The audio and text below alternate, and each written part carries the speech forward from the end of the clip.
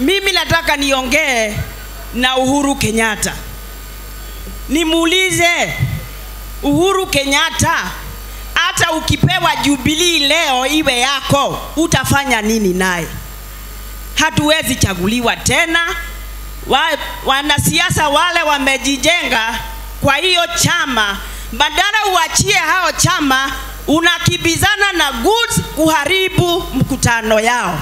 Your Excellency, kuanzia leo hapana ongea na Uhuru tena, utuachie Uhuru kwa sababu ameshuka levo yetu, ameshuka mpaka chini kukimbizana.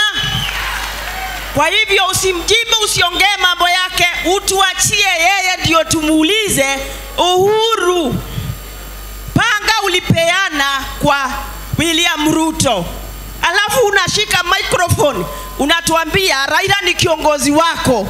Hiyo ni siasa ya aina gani? For heaven's sake, umeshuka bei, kuja tupane. Asante.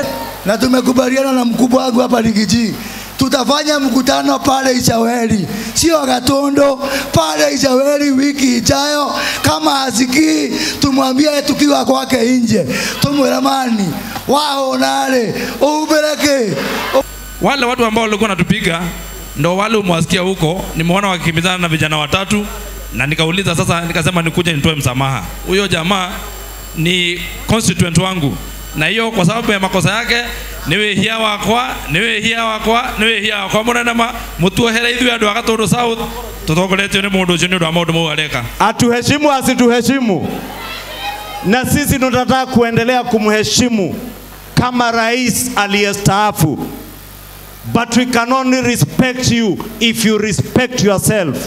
Hauwezi kuwa when you are commander in chief. Hawa askari wetu wa saluting at you. And today wewe unaenda kuambia se, a, a, askari wa polisi wakifanya kazi yao ati waondoke wakwende. Wataenda wapi? And you are their former commander in chief. You ought to respect them as they respected you when you are in office